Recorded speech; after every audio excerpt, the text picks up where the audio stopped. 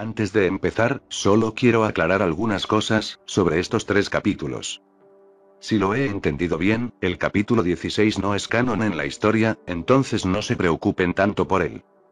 Ya los capítulos 17 y 18 se puede decir que son un relleno solo para aclarar algunas cosas de la historia.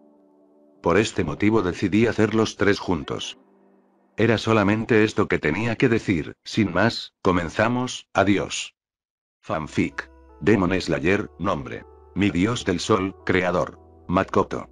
Todos los derechos a sus respectivos creadores.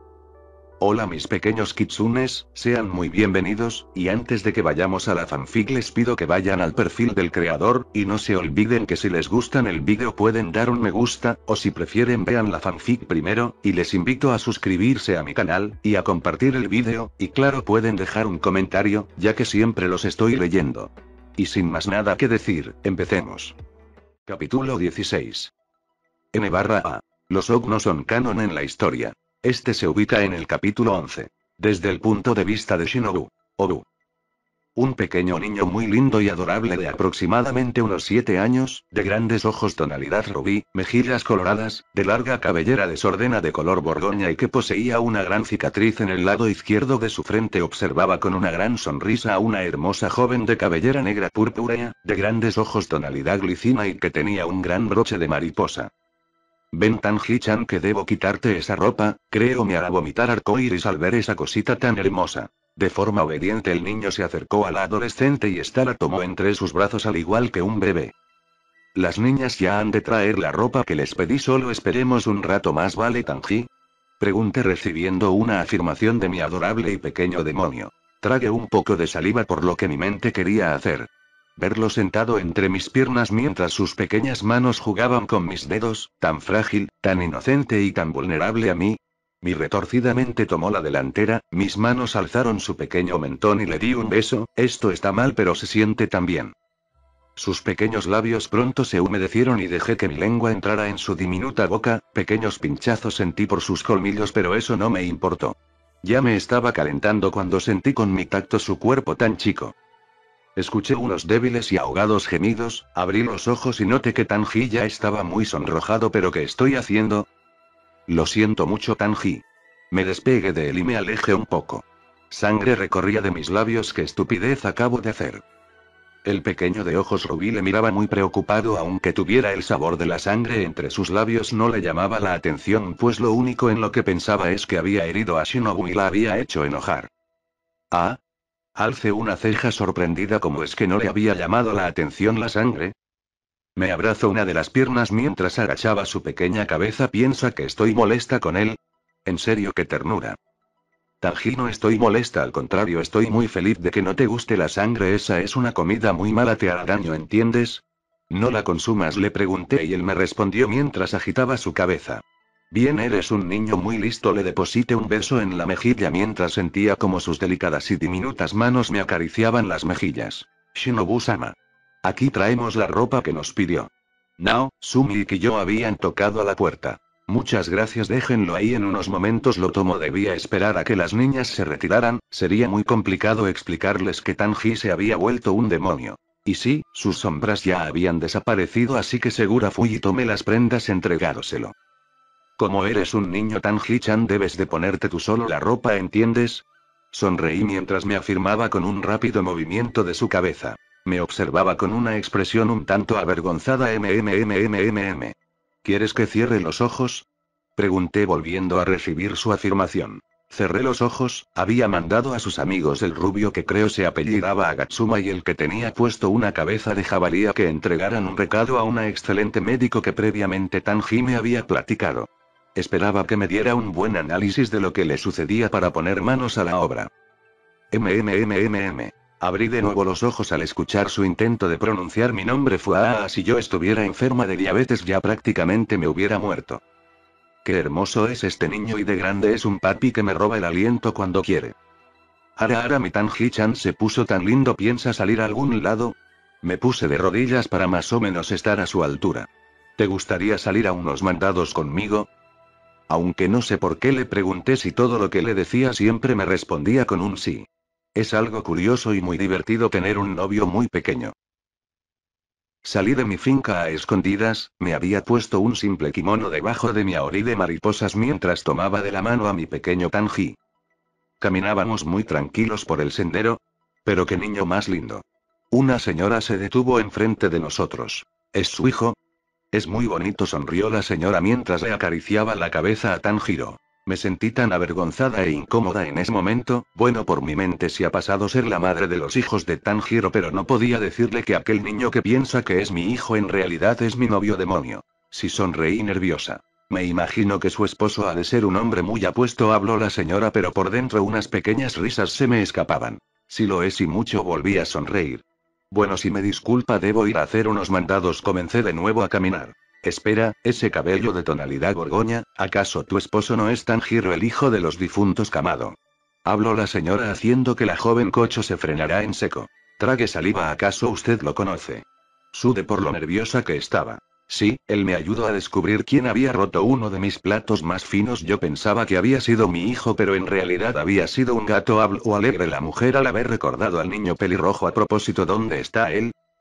Am, bueno, él fue a trabajar en la noche, volverá para la cena, sonreí ocultando mis nervios. Él ha sido muy trabajador y humilde desde pequeño, yo pensaba que se había derrumbado por la muerte de toda su familia, pero me alegra mucho que haya decidido seguir adelante.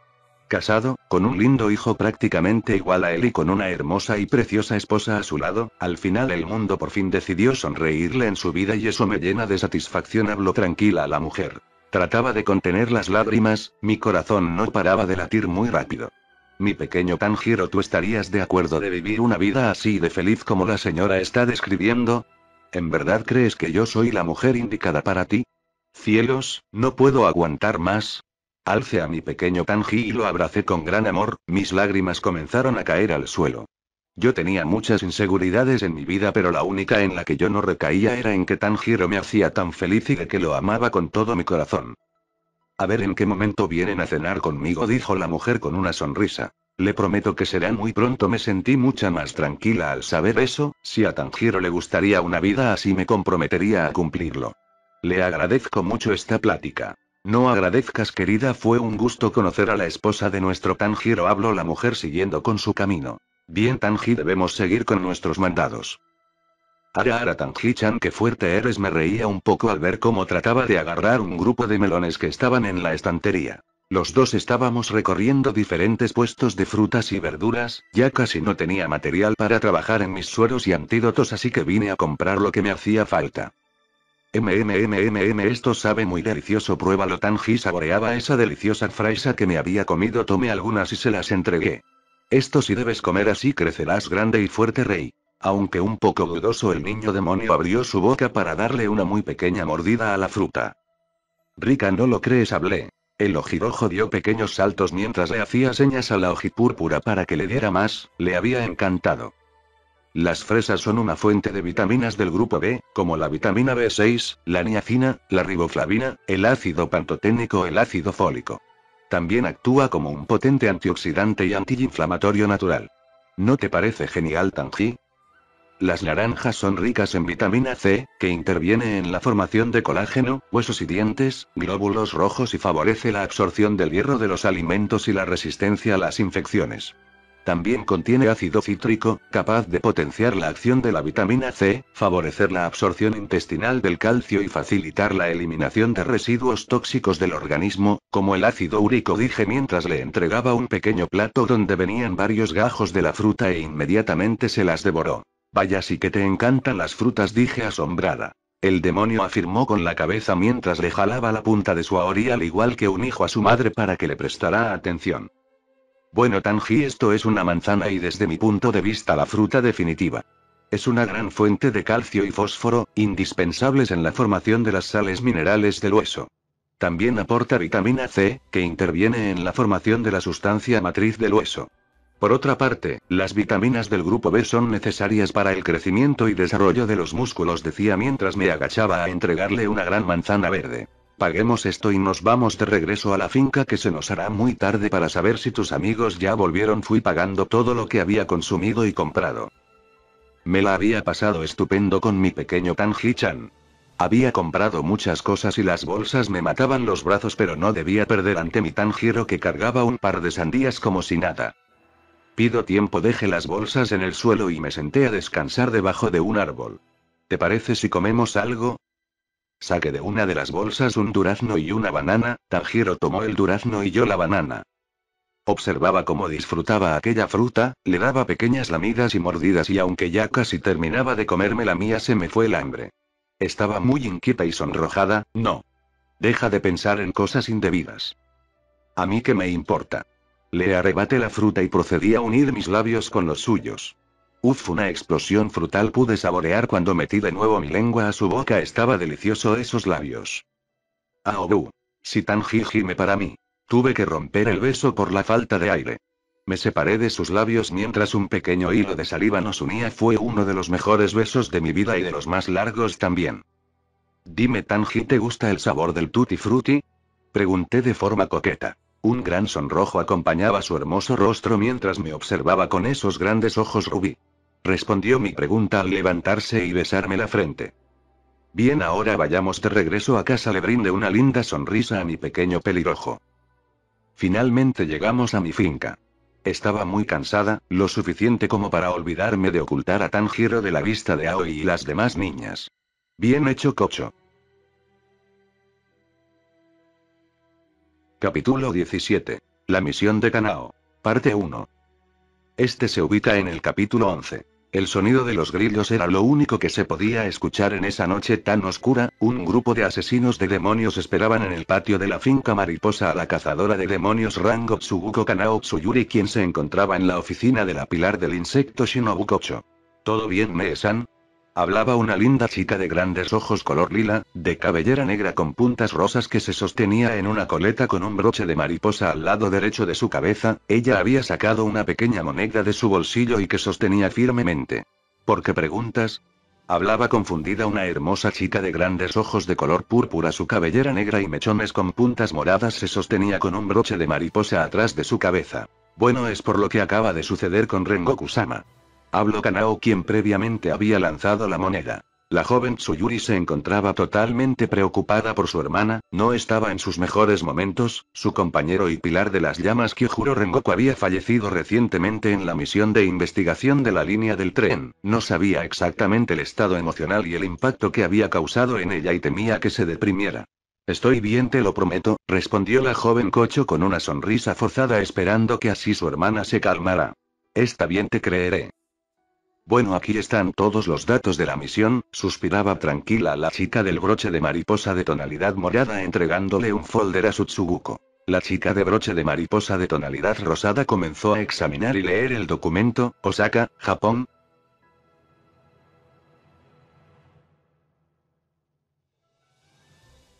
Tendrán que partir ahora si quieren llegar rápidamente al siguiente día con la claridad del sol, debido a que de manera temporal las líneas del tren no estén trabajando tendrán que buscar una nueva forma de transporte para llegar hacia la ciudad, mucho más adelante hay un gran establo en el cual podrán conseguir caballos para la misión, hablo Shinobu a todos los cazadores. Punto de vista de Kanao. Estaba muy orgullosa de mi hermana, era un gran ejemplo a seguir como hermana y como mujer, tenía el gran anhelo de ser como ella, tan fuerte e independiente, tan dedicada a su papel como pilar.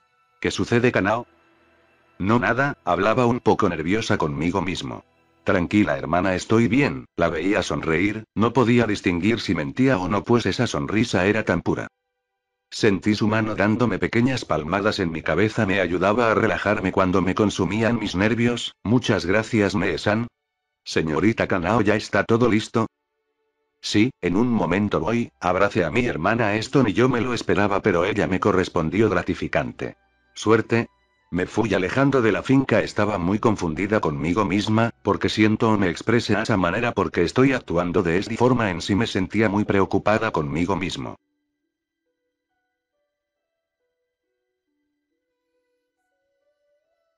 ¿Hacia dónde? La señorita Tsuyuri dice que debemos seguir hacia adelante sobre las montañas. Gritó un cazador que actuaba como vocero de la Tsuguko. Ya oyeron.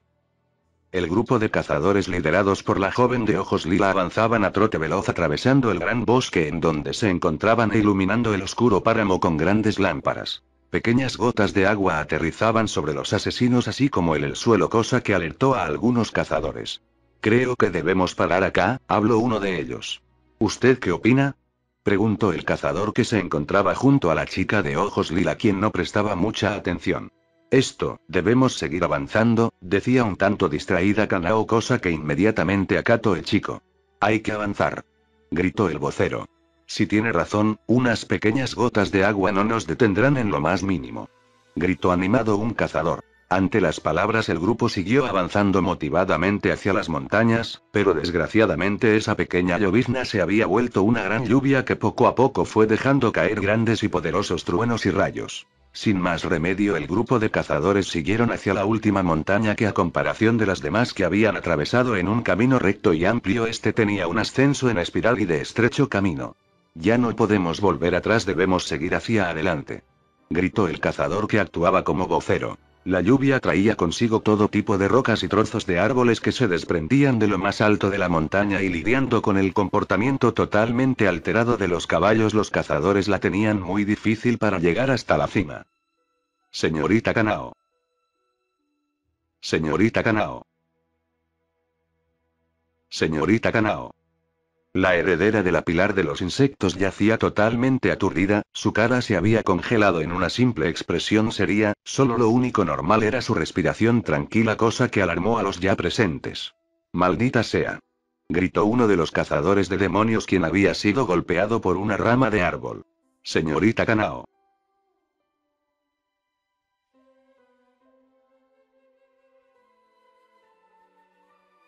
¿Por qué estoy tan asustada? Me veía en un panorama totalmente oscuro, recordando mi infancia. Mi padre me había vendido por solo y simplemente 500 yenes a un hombre muy feo. Ya no podía ni asustarme o tratar de escapar. Pues todas mis emociones y acciones se habían reducido a nada por la pobreza y maltrato que me habían dejado mis padres. Solo era un simple cascarón vacío. Una marioneta vacía que solo se dedicaba a obedecer órdenes como un simple animal. Veía todo tan lúgubre. No podía agradecer a las personas que me habían ayudado. Ni podía soltar una lágrima cuando me lastimaba. Mis padres no me lo permitían y eso me iba a perseguir toda mi vida. Lo bueno es que eso estaba equivocado. Había sido adoptada por dos chicas que dentro de poco se volvieron mis preciadas hermanas, estaba tan agradecida con ellas por hacerme feliz. Pero eso era lo que de verdad odiaba, no poder agradecerles por todo lo que hicieron por mí. ¿Acaso una simple muñeca de trapo podría dar las gracias? Y si lo hice fue porque ellas me dijeron que lo hiciera, nunca pude hacerlo por mí misma. Pero tal vez si hacía eso sería una forma de demostrarle lo agradecida que estaba, solo actuando y haciendo las cosas cuando me las pidieran. ¿Por qué no decides por ti misma? ¿Qué quisieras hacer tú? Esa voz yo. La conozco. En el mundo no hay nada que no importe, tu corazón debe hablar en voz baja. Ese tiro de moneda. Entiendo ahora por qué estoy así, si a partir de ahora escucharas atentamente a tu corazón o no. Tan giro camado que hiciste dentro de mí. Yo pensaba que en realidad y de esta manera hacía a todos feliz y yo pensaba que de igual manera también era feliz. Kanao, ánimo, el corazón es lo que nos mueve y puede fortalecerse infinitamente. Pero ahora entiendo que he vivido en una gran mentira. Señorita Kanao, ¿está usted bien? Fin del capítulo. Capítulo 18. La misión de Kanao. Parte 2. Desde el punto de vista de Kanao. Me alegro de que esté bien, señorita Kanao. ¿Qué sucedió? ¿Acaso usted acaba de hablar? ¿Eh? Yo acabo de articular una palabra de manera inconsciente. No, necesito mi moneda. ¿Dónde está? ¿Qué haces, Kanao? Si tu corazón tomó la iniciativa, ¿por qué piensas quitárselo? Lo siento. ¿Le ocurre algo, señorita Kanao? Esta vez lo negué con la cabeza, me sentía muy extrañada de volver a hablar sin el permiso de mi moneda. ¿Está bien? Es algo bueno que haya despertado que debemos aprovechar los primeros rayos del sol para seguir con el viaje, habló el cazador de demonios que actuaba como el portavoz de la chica de ojos lila. El escuadrón podía cabalgar más tranquilos. La tormenta por lo que parecía había sido muy intensa dejando algunos árboles y grandes lave de la colina de donde provenían. Me sentía muy confundida y un poco alterada, ya no contaba con mi querida moneda y eso me causaba mucha inseguridad, pero por otro lado me sentía un poco libre, sentía como si aquellas cadenas que me mantenían presas se hubieran roto, yo era libre. Kanao-sama creo que deberíamos detenernos en cierta parte para poder alimentarnos y también a los caballos habló uno de los cazadores de demonios con todo respeto a su superior. Mi moneda, no recuerdo dónde está. Si mejor me regresó a buscarla a la colina tal vez esté por ahí tirada. No Kanao no es necesario para que tú elijas, sonríe y haz lo que tú pienses que es lo mejor para ti y para todos. Bien respondí muy nerviosa me puse aún más cuando todos comenzaron a mirarme sorprendidos. Usted acaba de hablar. Los cazadores de demonios no se lo podían creer, Kanao Tsuyuri Tsuguko de Shinobukocho que desde sus memorias logran recordarles nunca jamás ella había articulado alguna palabra sin que previamente lanzara su moneda. Esto es increíble. Usted tiene una voz muy linda. Hablaron emocionados los cazadores al escuchar la tímida pero dulce voz de la sucesora de la pilar del insecto. Gracias. Seguía aún muy nerviosa, sentía que a veces no podría articular una palabra ya que no tenía las previas opciones para poder responder. Bueno, ya escucharon a la señorita Kanao, debemos avanzar y encontrar el pueblo más cercano para poder alimentarnos y reponer energías, habló el portavoz de la. El grupo de cazadores continuaron avanzando hasta llegar finalmente a un pequeño pueblo donde pudieron comprar alimentos para ellos y para los caballos. Kanao comía una manzana mientras se encontraba sentada debajo de un pequeño árbol, su mente divagaba entre los recuerdos de su amada hermana mayor Kanae y su compañero cazador Tanjiro. Tenía un pequeño conflicto mental en donde no sabía todavía con certeza si debería hablar o no, su hermana Kanae siempre buscó que ella abriera su corazón y se expresará con los demás brindándole una moneda para poder elegir qué es lo que debería hacer o no hacer pero ya no importaba tanto eso su moneda era una forma simbólica de mantener los recuerdos que su hermana le había dejado y eso le causaba cierta inquietud y frustración. ¿Qué hago? ¿Qué hago? Porque me es tan difícil ser libre en tomar mis propias decisiones. Kanae San, tú siempre elegías lo mejor para mí, tú me demostraste lo tanto que me querías y que siempre por las noches me ahogo en mi propia frustración de que no pude llorar el día de tu muerte. Es un castigo por haber sido una malagradecida sin sentimientos al no sentir emoción alguna cuando el ser que tanto amaba tuvo que partir a tu descanso eterno. El primer paso para poder sanarte a ti misma es que lo aceptes, todos hemos cometido errores en nuestra vida pero los días continúan así como las horas avanzan tú también puedes avanzar en querer ser lo que tu hermana siempre deseo para ti, que seas una chica feliz acaso hay algo que te limite a hacerlo? Kanao-sama se encuentra usted bien. ¿Eh? ¿Ocurrió algo? Pregunté al haber salido de mis pensamientos. Solo que ya estamos listos para partir rumbo a Cuidado Saca, el encargado del local donde fuimos a comprar los víveres nos dijo que está como a unas dos horas de acá. Bueno. El escuadrón continuó avanzando y como uno de los cazadores había dicho previamente un gran castillo se podía visualizar. Habían llegado a su destino. La joven Tsuyuri sacó el folder donde venía la información acerca de esa misión, la cual era traer ciertos fármacos que la pilar del insecto necesitaba para una poderosa droga en la que trabajaba junto a Tamayo. Mientras se adentraban más a la ciudad no podía dejar de maravillarse ante la hermosa arquitectura de esta. Los edificios, la hermosa vegetación así como el panorama del cielo que se tenía entre una mezcla de azul celeste y rosa salmón le ayudaba a despejar los conflictos internos que ella tenía consigo. Continuaron con su rumbo recto hasta llegar al establecimiento en donde conseguirían los químicos. Aquí Kanao tenía que ir a pie sola. Entró y ahí le esperaba un hombre muy joven quien le entregó una gran caja donde venían todos los fármacos. Gracias. Respondió la joven de ojos lila antes de darse la vuelta. Espera, Kanao no. Le detuvo el hombre, su voz tenía una gran tonalidad de asombro al escuchar la palabra de la chica. Sí, respondió muy insegura la Tsuguko. ¿Que no me recuerdas? Tú siempre venías con tus hermanas mayores Am como se llamaban así. Kanae y Shinobu no es así. Sonrió el hombre al recordar al trío de hermanas mariposa. Kanao le miró extrañada, sinceramente no lograba recordar quién era el sujeto. La última vez que te vi fue hace unos tres años aproximadamente, no me imaginaba que me hablarías, respondió ya más tranquilo el hombre. La Tsuguko solo siguió observándolo confundida. Soy yo Keiji amigo de Shinobu les he suministrado medicamentos y demás cosas desde hace cuatro años sonrió el hombre mientras se rascaba la nuca. ¿Cómo has estado? Cambiaste mucho, te volviste igual de hermosa que tus hermanas mayores. La adolescente con broche de mariposa solo pudo dar una pequeña sonrisa tímida cosa que llamó la atención del hombre. Vaya, por lo que me acuerdo tú eras una niña muy callada y seria ahora eres todo lo contrario. La ojilila tragó saliva, se volvió a sentir mal, no podía recordar un lugar en donde pasaba tiempo con su hermana mayor. Las lágrimas poco a poco se hicieron presentes.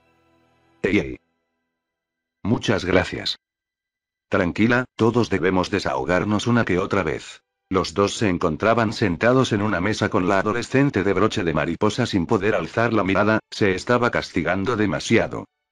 Es algo bueno lo que hiciste, demuestras que tu corazón posee grandes sentimientos, sé que es doloroso la pérdida de un ser querido, pero solo te queda continuar y mantener en alto su legado, habló Keiji mientras le sujetaba la mano. Como dije antes, tú eras una niña muy callada, parecía que estuvieras vacía, pero ahora hablas y te expresas a qué se debe ese gran cambio. Bueno, hace unos días conocí a un chico que había llegado a la finca de mi hermana Y. O ya veo, se podría decir que él es el responsable de este cambio en ti, Preguntó el hombre a la adolescente de grandes ojos lila. Kanao, a veces solo basta juntarnos o conocer gente muy buena para sacar lo mejor de nosotros. Tus hermanas me contaron lo que tú viviste y no me quiero ni imaginar lo horrible que lo pasaste, pero a pesar de todo lograste superar todo ese dolor y amargura de tu infancia. El amor que te brindaron tus hermanas y la compañía de ese chico han logrado lo que tu hermana Kanae siempre quiso para ti y eso es que salieras de ese cascarón en el que estuviste tanto tiempo y comenzaras a vivir por ti misma, sonrió el hombre. Pero, yo, no, sé cómo hacerlo, habló Kanao con una gran mirada de tristeza. Solo basta con que ese corazón que tienes ahí adentro lata por amor y por pasión de esas personas que siempre han estado por y para ti ahí radica tu felicidad para vivir. La Tsuguko enmudeció, lentamente una pequeña sonrisa se le hizo presente al recordar los buenos y hermosos momentos que vivió con su difunta hermana Kanae que a pesar de ya no estar con ella tenía a su otra amada hermana Shinobu para poder crear más y mejores momentos. Te agradezco mucho Tanjiro. Una simple conversación entre dos chicos reavivó el deseo y sueño que sus hermanas querían para ella. Por algo Shinobu siempre mantenía aquella hermosa sonrisa cada vez que estaba junto al pelirrojo. Era un ser de luz que a pesar de las adversidades siempre se motivaba a ser feliz a los demás alguien tan dulce y tan lindo como él era el chico que Kanae le había descrito. Le agradezco mucho todo lo que hizo por mí, sonrió Kanao de verdad. No hay nada que agradecer, mejor regresa con tu hermana que tengo muy en claro que su carácter es muy especial, habló el hombre volviéndole a entregar la caja con los químicos. Kanao salió del establecimiento yendo con sus demás compañeros cazadores quienes les esperaban muy preocupados. Kanao-sama, ¿por qué tardó tanto? Habló uno de los cazadores. Hablaba con un viejo amigo, pero bueno, hay que regresar que mi hermana me espera, sonrió Kanao mientras montaba en su caballo comenzando el galope. Los cazadores tragaron saliva por dos cosas. La sucesora de la pilar del insecto había sonreído y había dicho una larga oración que pasó. Fin del capítulo.